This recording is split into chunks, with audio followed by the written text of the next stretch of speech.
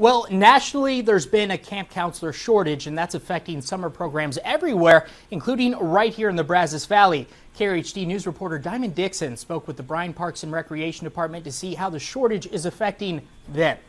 We are facing a shortage in camp counselors nationwide and here in Bryan. Thomas shares that he's optimistic he'll see more applications come in before the end of May. With summer right around the corner, Thomas is looking for quality individuals to join his staff and become a camp counselor starting May 31st. They will learn the small things that have a big impact, like how to communicate and how to handle discipline. You need a really good attitude and you have to have what I call like a servant's heart, right?